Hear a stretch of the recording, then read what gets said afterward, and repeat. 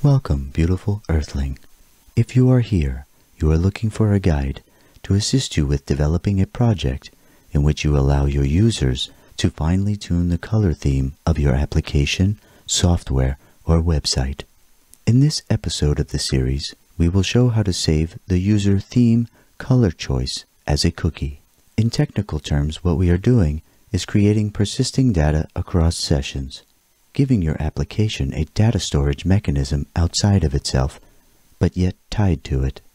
We will give the user controls in order to save their color theme, and the color will automatically load for them in any of their future or subsequent visits to your application or website. Before dabbling in the code, we will take a look at the finished product so that you can determine whether or not you want to learn this sort of programming. So let's say the user comes to your application or website and they want to change your theme to a deep red. Maybe that's a little dark. And then they want to save that color. Then the application says your color choice has been saved as blah blah blah blah blah values. Okay. Then if the user refreshes, it doesn't reset to the gray. And if the user closes their browser and comes back two days later, it opens as the exact color, saturation, and brightness that they chose when they last saved color.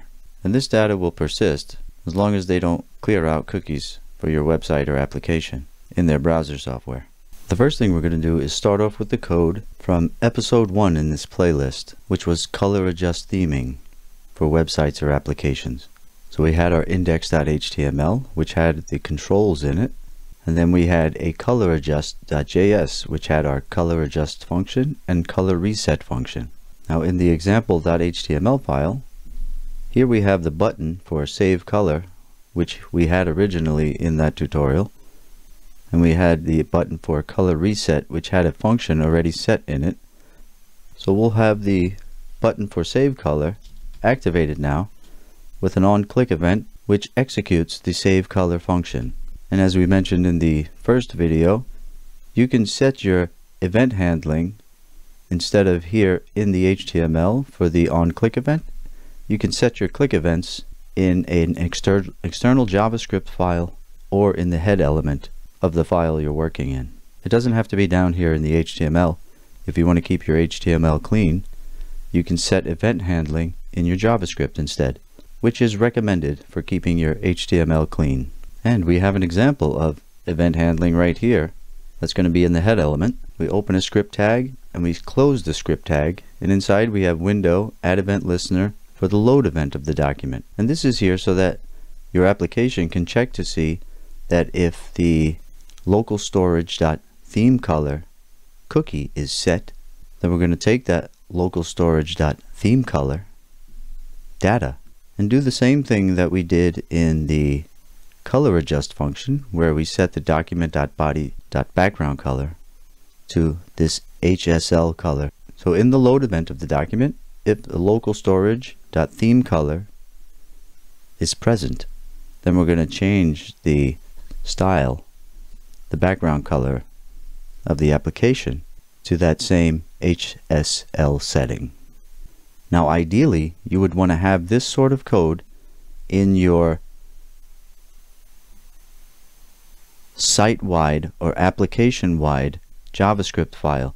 That way you don't have to have it in every single document because it would be redundant to have this code in every single document of your website or application unless your application is just one file.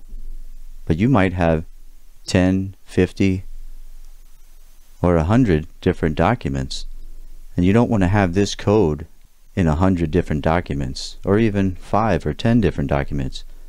You would want to have this in an external .js file that you call in the same way we're calling in coloradjust.js. So maybe you would have a site-wide.js for all of your common JavaScript that gets loaded into every document. So now inside of coloradjust.js all we have to do is create the save color function. We'll go in there and right under color reset function we're going to pop in save color function. Now what I did is I just pretty much copied the code up here because we're going to need to get those values.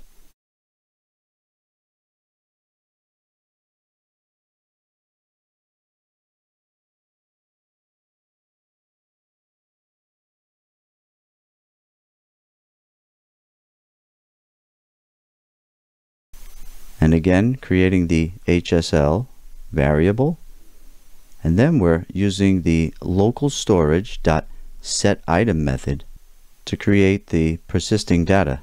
It's basically a cookie with the name value pair and the name is theme color for the data and the value is this HSL variable right here. And then I just ran an if condition that says if local storage dot theme color cookie has been set, then we're going to alert to the user, your color choice has been saved as local storage.theme color, and they'll see the data values there. But in your case, for the developer's sake, I wanted to show you the data in the alert. But for your users, you can just write, your color choice has been saved, period. They don't need to see what the data looks like. And another thing to note is that you don't have to save it with this degree string and the percentage symbol strings concatenated to the values.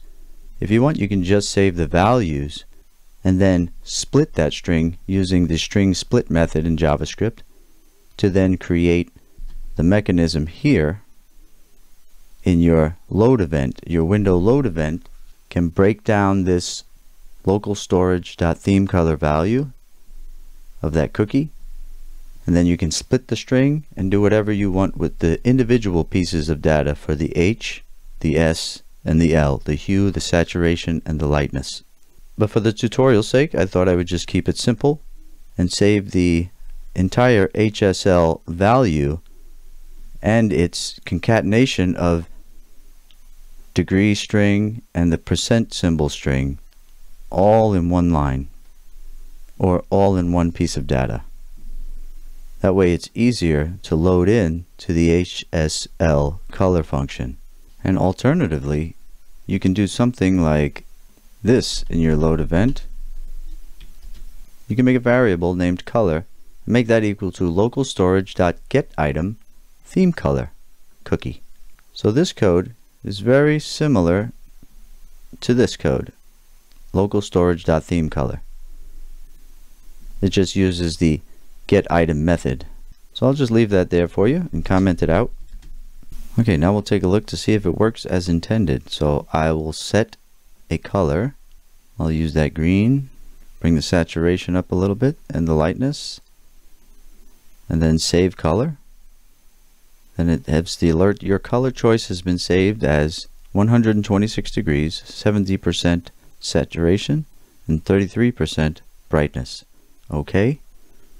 Now I should be able to close down the browser or even if I refresh the browser it keeps the green. It doesn't go back to the default gray. And I can even close the browser and then come back two days later, reload the browser, go to the application, and it loads up the green by default. And another thing you can do in your application is set your sliders to this specific value and that would be done in your window.loadEvent handler. Here you would get the value from local storage.themeColor and that's where you would have to save the data independent of its strings, the concatenated strings of degrees and percent symbols. You would have to save the data as a delimited piece of data, maybe delimited by commas delimited by pipe marks, or any characters that you want, then you can split that string by those characters. You can even split the string by spaces, so your delimiter could be space between the H value, the S value, and the L value. And then here in your load event, you can get the local storage.theme color and run the split method on that string to get the H, the S, and the L independently, and then here in your load event use similar code as this, where we set the value of the sliders, the control knobs, to certain things. And you would just set those values to what the user has saved them as here. I hope that makes sense. I'm not going to be doing that for you, but it's very easy to do. So I think that's all there is to know about that. It's a very easy thing to do to save somebody's preferences or options in their local storage of their browser software. And you don't have to create a cookie for each little piece of data. You don't have to create an H cookie, an S cookie, and an L cookie. You don't have to have one for hue, saturation, and lightness, all three.